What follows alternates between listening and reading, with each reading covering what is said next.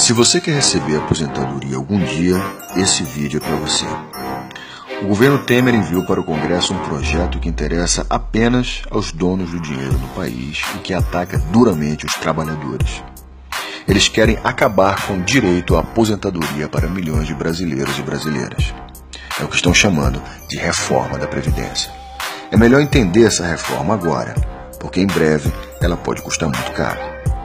A proposta de Temer tem vários ataques aos nossos direitos. Vamos ver os três principais. Primeiro, eles querem aprovar a idade mínima para aposentadoria aos 65 anos. Isso num país onde muitos morrem antes disso. A expectativa de vida em várias regiões do Norte e Nordeste está abaixo dos 65 anos.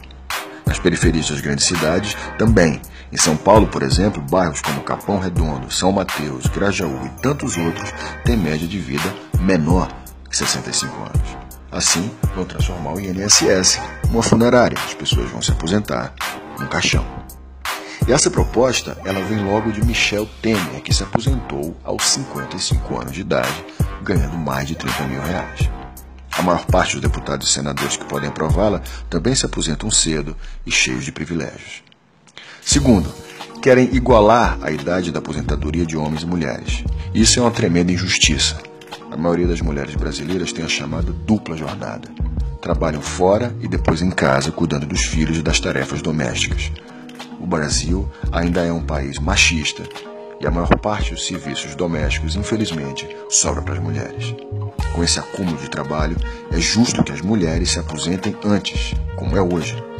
A reforma da Previdência quer acabar com esse direito.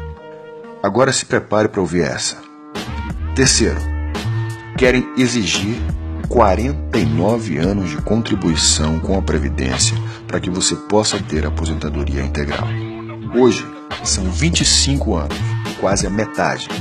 E veja, não são 49 anos de trabalho, são 49 anos de contribuição.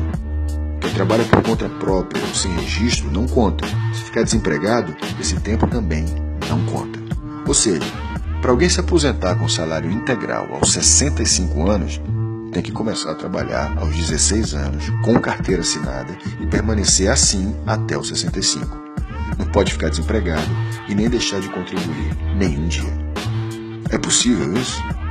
Na prática, isso representa o fim do direito à aposentadoria para maior parte da população brasileira e uma redução drástica da aposentadoria dos que sobrarem.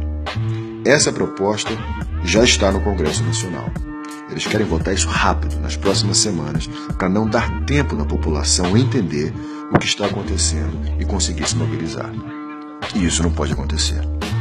Junte-se a essa luta. Ligue e mande mensagens pelas redes sociais para o seu deputado e senador. Venha para as mobilizações do povo sem medo em defesa da aposentadoria e dos nossos direitos. Ainda dá tempo, antes que acabe com o nosso futuro. Aqui está o povo sem medo de lutar.